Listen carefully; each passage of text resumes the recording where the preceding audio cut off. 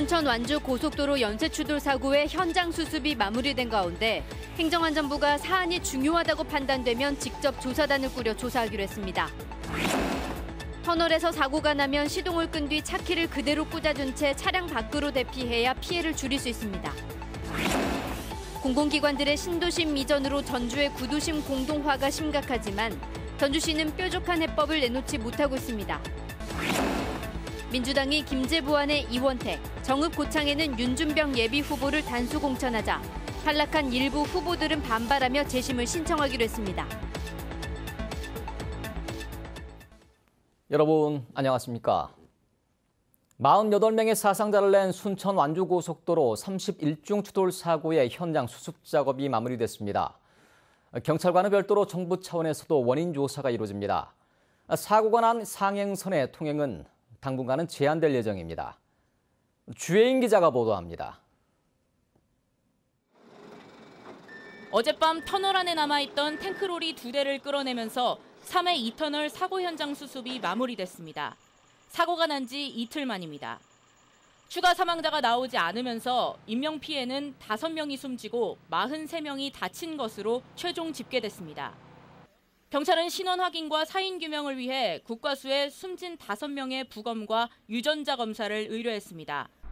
또 사고 차량 블랙박스와 터널 CCTV, 사고 기록 장치를 분석하고 운전자 진술을 종합해 사고 원인을 밝히는 데 집중하고 있습니다. 앞서 최초 사고를 낸 화물차 운전자를 조사한 경찰은 차량이 미끄러지면서 앞서가던 트레일러를 들이받았다는 운전자의 진술을 확보했습니다. 이에 따라 도로 결빙 여부와 도로공사 제설 작업에 문제는 없었는지도 조사하고 있습니다. 제설 작업을 뭐 어떤 규정에 따라서 했는지 안 했는지 그런 부분에 대한 수사가 들어간 걸 알고 있습니다. 정부도 직접 상황 파악에 나섰습니다. 행안부는 재난안전연구원 등과 이틀 동안 사고 현장과 도로공사, 소방서 등을 대상으로 조사를 진행합니다. 사안이 중요하다고 판단되면 조사단을 꾸려 직접 사고 원인을 조사할 계획입니다. 어제 저녁 6시 하행선은 통행이 재개됐지만 사고가 난 상행선은 정밀 안전진단과 보수공사를 마칠 때까지 최소 2주에서 4주 동안 통행이 제한될 예정입니다. 한국도로공사는 상행선의 북남원 IC 입구에 우회도로를 이용할 수 있도록 선형 구조물과 안내 표지판을 설치할 계획입니다. JTB 뉴스 주혜인입니다. 이번 사고처럼 터널 내부는 대피 공간이 좁고 뒤따르는 차량 운전자들이 상황을 파악하기 힘들기 때문에 대형 사고의 위험을 안고 있습니다. 터널 안에서 사고가 났을 때 어떻게 대처해야 되는지 나금동 기자가 보도합니다. 31대가 연쇄 추돌한 남원 3회 2터널 사고. 차량들이 꼼짝없이 갇혔습니다. 대형 화물차 두 대가 추돌해 불이 나기 직전 소형 화물차 운전자가 차량을 놔둔 채 황급히 터널 밖으로 나갑니다. 대형 참사로 번질 수 있는 터널 사고 때 대처 방법을 얼마나 알고 있을까? 글쎄요, 만약 사고가 난다면은 그런 생각은 안 해봐가지고 참 막막할 것 같은데요. 알고 있어도 정작 사고를 당했을 때 빠르게 대처하기란 쉽지 않습니다. 경황이 없어가지고 물론 그 보니까 대부분 큰 사고가 아니면 현장에 그냥 그대로 남게 되거든요. 터널 안에서는 비상주차대 등 차를 옮길 여유 공간이 없는 경우가 많은데 특히 연쇄 추돌 사고 때는 더욱 그렇습니다. 이럴 때는 과감하게 서둘러 차량 밖으로 나와야 합니다. 터널에서 사고가 났을 때는 시동을 끈 뒤 차키는 그대로 꽂아두고 차량 밖으로 대피해야 합니다. 시동이 오랫동안 어, 걸렸을 경우에 또 다른 화재가 날 수 있고 소방차 진입과 화재 진압 활동을 위해서 차량 정리를 해야 하는 경우가 있는데 반드시 키를 꽂고 대피하시기 바랍니다. 차에서 내린 뒤에는 피난 유도 등을 따라 신속하게 터널 밖으로 이동해야 하는데 출구가 멀 때는 터널 중간에 설치된 피난 연결 통로를 통해서 반대편 터널로 갈 수도 있습니다. 그 문은 성인이라면 누구나 다 열 수 있고요.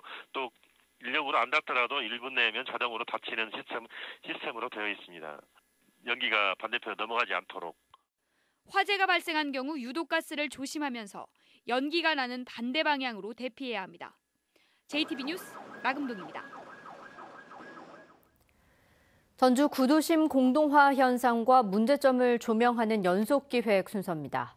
구도심 공동화의 또 다른 원인 가운데 하나는 공공기관들의 신도심 이전입니다.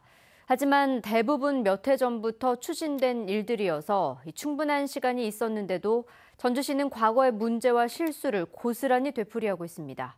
연속기획 두 번째 송창용 기자입니다. 불과 10년 전까지만 해도 11개나 되는 공공기관들이 밀집해 있던 전주 육지구입니다. 토지공사와 주택공사를 시작으로 완주군청과 농협 등 6개 기관이 줄줄이 신도심으로 빠져나간 뒤 상권이 급격히 쇠락했습니다. 빈 자리에는 아파트나 병원이 들어섰지만 과거에 비해 주변에 미치는 영향력이 크게 줄었기 때문입니다. 이것도 비어 있는 거 1년 넘었었어요. 근데 제가 들어온 거지. 제가 와서 이쪽에 업주들 싹 바뀌었어요. 이 같은 상황은 옛 법원과 검찰청이 있는 덕진동 일원에서 고스란히 재현되고 있습니다. 변호사와 법무사들까지 한 번에 빠져나가 빌딩마다 사무실은 텅텅 비고 여기에 의지해서 생계를 이어가던 영세 자영업자들은 줄줄이 막다른 길에 내몰리고 있습니다. 반전 확 줄었죠. 그러니까 다들 안 된다고 하더라고요. 저는 이제 4월달이 만기니 그때까지 오면 안 오나 수년 전부터 불을 보듯 예상된 일이지만 전주시의 대책은 미흡하기만 합니다. 법원과 검찰청 자리에 법조사면 기념관 등을 추진하고 있지만 그나마 언제 들어설지는 기약조차 없고 설령 들어선다고 해도 효과가 있을지 의문입니다. 법원과 검찰청만큼의 이동 인구가 어, 있지는 않을 것 같습니다. 또한 그 주변에 있는 상가들이 그만큼의 현재 있는 만큼의 어, 상업 활성화가 되지는 않을 거라고 지금 생각하고 있습니다. 끝없는 신도심 개발에 이어 공공기관까지 줄줄이 빠져나오고 있지만 전주시의 무력한 대처 속에 구도심 공동화는 계속되고 있습니다. JTB 뉴스 홍청룡입니다. 대구와 경북에서 코로나19 확진자가 대거 발생하는 등 지역사회 감염 사례가 잇따르자 전라북도가 방역망을 더 강화하고 있습니다. 전라북도 보건당국은 아직 확진자의 동선과 접촉자가 모두 확인되지 않았지만 도민 가운데 접촉자가 있을 가능성을 배제할 수 없는 상황이라며 접촉자가 발생하면 신속히 격리하고 도민들에게 알리겠다고 밝혔습니다. 또 의심 환자에 대해서는 해외 여행력과 관계없이 신속하게 확인 검사를 진행할 계획이라며 마스크 착용과 손 씻기 등 개인 위생을 철저히 해줄 것을 당부했습니다. 교육당국이 봄방학 기간에 학생들이 몰릴 학원가에 코로나19 방역 대책을 요청했습니다. 교육부와 전북교육청은 중국권을 다녀온 학생은 14일간 등원 중지를 권고하도록 하고 손 소독제 비치 등 방역을 강화해달라고 밝혔습니다. 확진자가 나왔던 군산의 학원들은 전북교육청 요청으로 지난 2일부터 2주간 휴원한 바 있습니다. 코로나19 여파로 단체와 개인 헌혈이 줄면서 혈액 보유량이 급감하자 전라북도 공무원들이 단체 헌혈에 나섰습니다. 지난달 20일부터 이달 17일까지 도내 헌혈 실적은 7,200여 건으로 지난해 같은 기간보다 1,100여 건 적고 도내 혈액 보유량도 3.81분에 그치고 있습니다. 전라북도와 14개 시군은 다음 달 3일까지 단체 헌혈에 나설 계획입니다. 익산시는 노인이나 저소득층 주민들이 불법 광고물을 가져와서 신고하면 보상금을 지급하고 있습니다. 그런데 올해 예산이 벌써 바닥나면서 불법 광고물 신고를 받지 않고 있습니다. 이런 문제가 벌써 몇 년째 되풀이되고 있지만 익산시는 마땅한 대책을 내놓지 못하고 있습니다. 김진영 기자가 보도합니다. 불법 광고물을 신고할 경우 명함 한 장 크기의 10원, A4 용지 크기는 100원, 현수막은 1,000원의 보상금이 지급됩니다. 한 사람당 하루 2만 원까지 받을 수 있습니다. 그러나 올해 예산이 바닥나면서 보상금 지급이 끊겼습니다. 예산이 소진될 것 같다는 문자를 안내를 해드리고 추가 예산이 떨어지면 다시 안내를 문자를 보내드리겠다고 말씀을 다 돌린 상태입니다. 이 같은 현상은 지난 2017년 보상금 제도가 도입된 뒤로 해마다 되풀이되고 있습니다. 불법 광고물 신고는 65세 이상 고령자와 차상위 계층, 기초 생활수급자 등이 할 수 있는데 신고에 뛰어든 취약계층이 늘면서 익산시는 2017년 200만 원에서 2018년 3,600만 원, 지난해에는 9천만 원으로 해마다 예산을 큰 폭으로 늘려도 부족 문제는 해결되지 않고 있습니다. 더구나 보상금에 소요되는 비용은 당연히 불법 광고물 배출 업체가 부담해야 하지만 익산시는 책임을 묻는데도 소극적입니다. 과태료는 거의 못하고 있어요. 양이 너무 많아가지고. 올해 1월에 들어온 전단지만 해도 지금 한 300만 건 정도 되거든요. 취약계층의 생계를 지원하고 불법 광고물을 근절하기 위해 도입한 신고 보상금 제도의 취지를 살릴 수 있도록 적극적인 대책이 뒤따라 할 것으로 보입니다. JTB 뉴스 김진영입니다. 익산시 낭산면 폐석산 복구에 책임이 있는 관련 지자체들이 행정대집행 예산 확보에 소극적으로 나서면서 차질이 우려되고 있습니다. 익산 참여연대는 낭산면 폐석산의 불법 폐기물 처리를 위한 행정 대집행에 앞서 복구에 책임 있는 전국 자치단체 18곳 가운데 16곳이 관련 예산을 한 푼도 편성하지 않았다고 밝혔습니다.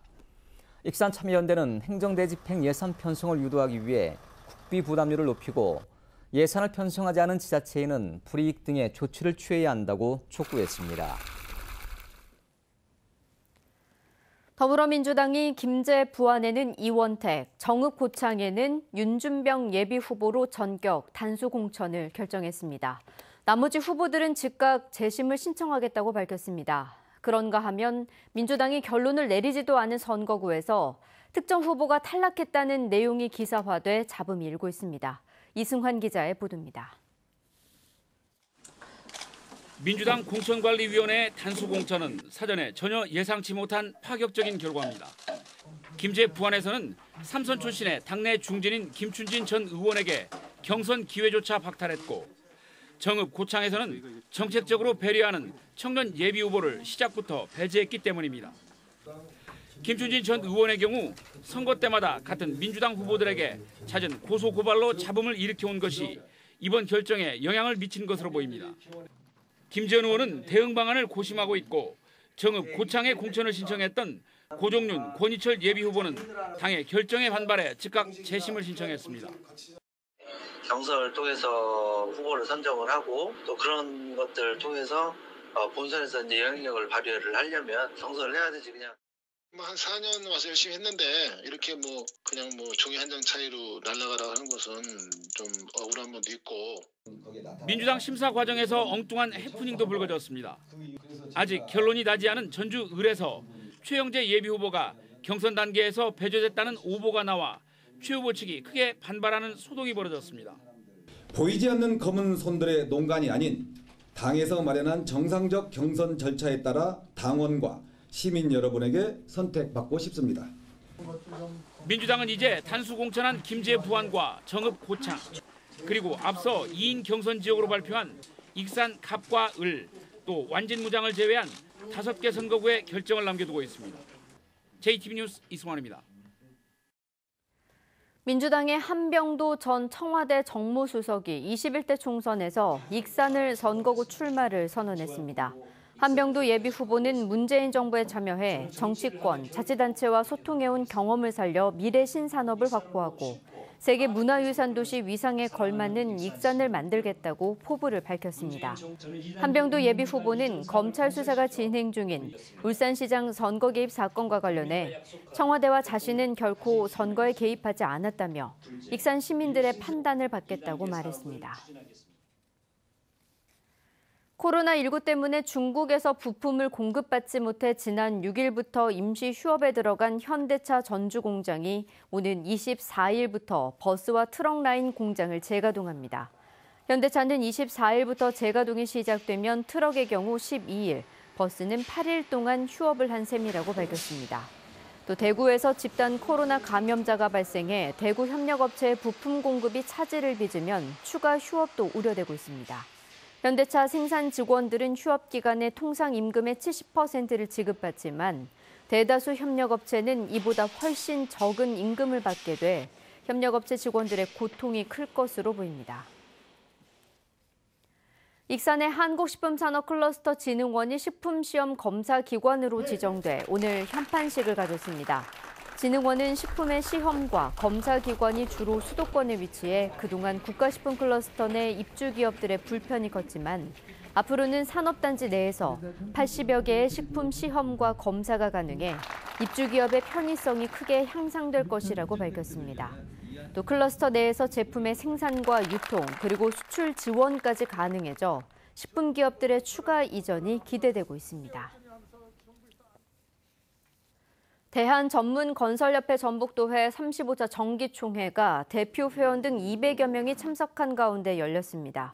총회에서 김태경 전북도 회장은 행정기관의 하도급 전담부서 운영으로 지역업체의 하도급 참여가 확대되고 있다며 앞으로도 전문 건설업계의 권익 보호를 위해 노력하겠다고 밝혔습니다. 이와 함께 우수 회원사 포상과 지역 건설산업 활성화에 힘써준 관계 공무원들에 대한 감사패도 수여됐습니다. 오늘날 1시 20분쯤 부안군 부안읍의 3층짜리 상가주택 건물에서 불이 나 80대 부부가 숨졌습니다.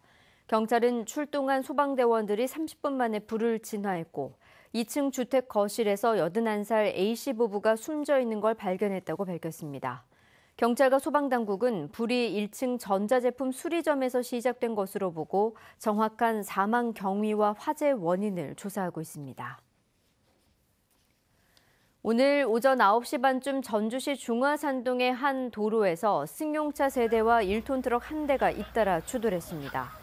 이 사고로 승용차 운전자 47살 A씨 등 2명이 다쳐 병원에서 치료를 받고 있습니다.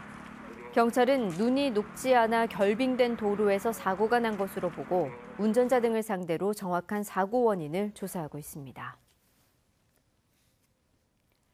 내일 아침 기온은 지난 영하 4도, 순창 영하 2도, 전주 영도 등으로 전라북도 전역이 영하권에 머물겠습니다. 내일은 대체로 맑겠습니다. 낮 최고 기온은 11도에서 13도로 오늘보다 3도가량 높아 포근하겠습니다. 미세먼지 농도는 보통 수준을 보이겠습니다. 금요일 저녁부터 토요일 오전까지는 약한 비가 내리겠습니다. 전주기상지청은 당분간 낮 동안 평년보다 기온이 2, 3도가량 높은 포근한 날씨가 이어질 것으로 내다봤습니다.